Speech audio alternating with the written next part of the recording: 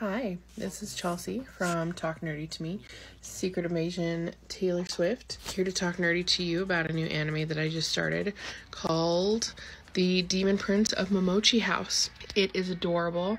It's a blend of what I feel like is Kami-sama Kiss and Fruits Basket. It's an adorable blending of those, I feel like.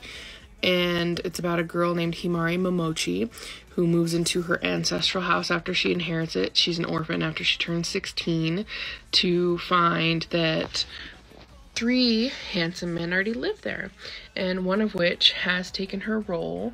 And it's just adorable, very sweet, fluffy. Love it, absolutely devouring it. I believe it's on episode five.